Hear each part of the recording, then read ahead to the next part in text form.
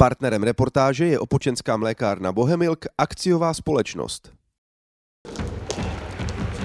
Závěrečným finálovým turnajem vyvrcholila zimní halová liga starších přípravek Rychnovského okresu. Celkem 12 týmů. Tihle kluci jsou většinou narození v roce 2007.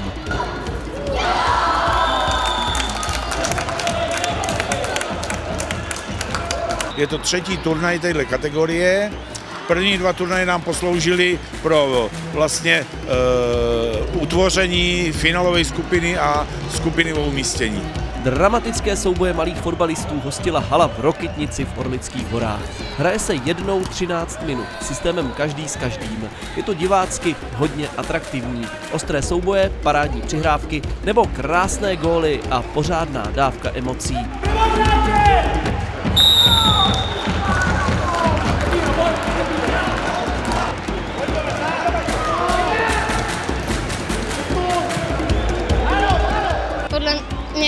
nás hodně potrapí doudleby.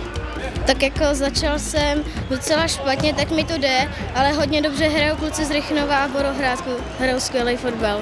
S velkým přehledem zimní halovou ligu letos vyhráli kluci ze Spartaku Rychnov. Ve srovnání s ostatními týmy hrají krajskou soutěž a měřit se dokážou i s ligovými manšafty. Na okresní úrovni dneska nemají konkurenci.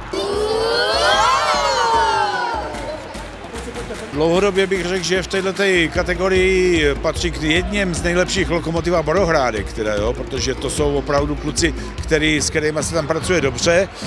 Nesmím zapomenout ani na spojený mužstvo Častolovice Kostelec, tam teda samozřejmě taky to dělají velmi dobře a taky to jsou vždycky jedni z vážných kandidátů na celkový velmi dobrý umístění a máme tady i samozřejmě velkého favorita turnaje starší přípravku e, Spartaku Rychnov, který hraje teda krajskou soutěž.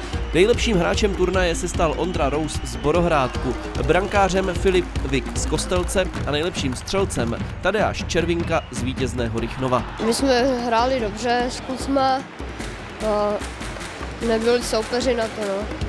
Ceny všem týmům předával brankář ligového Jablonce Honza Hanuš. Tak mi se to líbilo moc a hlavně se mi líbilo takový to zaujetí, který děti mají a, a ty, který jsem jim předával třeba ty medaile, tak jsem, jsem jim říkal hlavně, aby jim to nadšení a láska k tomu vydržela co nejdíl aby se snažili, že všichni mají tu možnost hrát ten fotbal na té nejvyšší úrovni, tak uh, věřím, že nějaký kluci, kteří tady byli, tak se prosadí a, a budou pak budoucnu úspěšní. Pro malé fotbalisty jsou halové turnaje přípravou na jarní část sezóny. Je to takové zpestření, aby za těch pár měsíců nezapomněli kopat do míče.